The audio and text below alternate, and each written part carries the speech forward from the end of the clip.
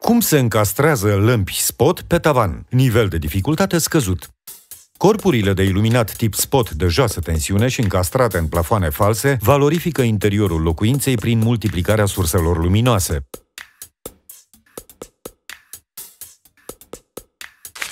Materiale necesare. Corpuri de iluminat tip spot, bandă izolatoare autoadezivă, cabluri electrice.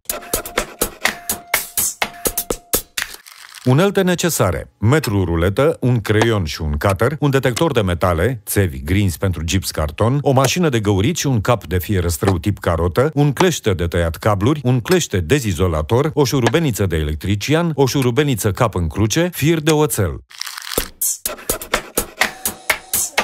Pentru iluminarea tablourilor de pe pereți, alegeți lămpi spot orientabile la 45 de grade și plasați-le la o distanță de la perete egală cu distanța între centrul tabloului și marginea tavanului. Utilizați un detector de metale ca să determinați locurile grinzilor tavanului.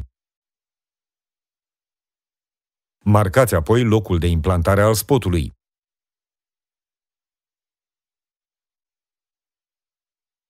În sălile de baie, regulile de siguranță ale instalației electrice permit sau interzic instalarea spoturilor conform următoarelor reguli. Corpurile de iluminat de joasă tensiune nu pot fi instalate în căzi, chiuvete sau pe podea.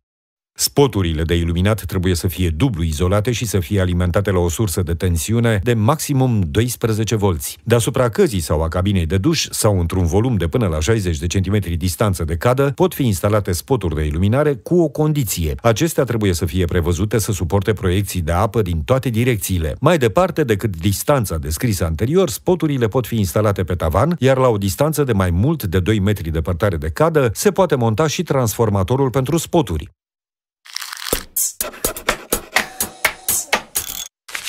Se găsesc capete de fierăstraie potrivite cu aproape toate modelele de spoturi luminoase găsite pe piață. Ajunge să centrați pe marcajul găurii burghiul montat pe mașina de găurit, care are montat și fierăstrăul, și apoi să găuriți drept. În lipsa unui fierăstrău tip carotă, se poate folosi și un fierăstrău pentru rigips pentru decuparea lucrului de încastrat spotul. Marcați conturul decupării.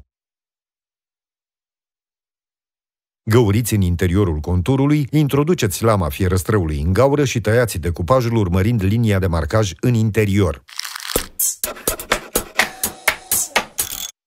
Spoturile de joasă tensiune funcționează la 12 volți și deci vor trebui să lucreze un transformator de 12 volți. Deșurubați capacul transformatorului și montați firele de alimentare la bornele spoturilor. Instalați cablul pentru piesele încastrate din gaură în gaură, ajutându-vă de firul de oțel.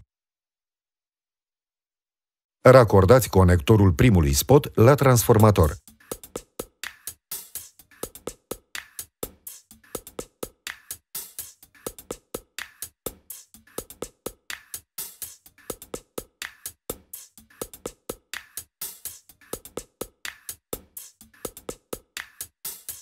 Apoi împingeți spotul în decuparea sa cu arcurile în sus. Comprimați arcurile pentru trecerea corpului spotului de iluminat și împingeți spotul până la locul său.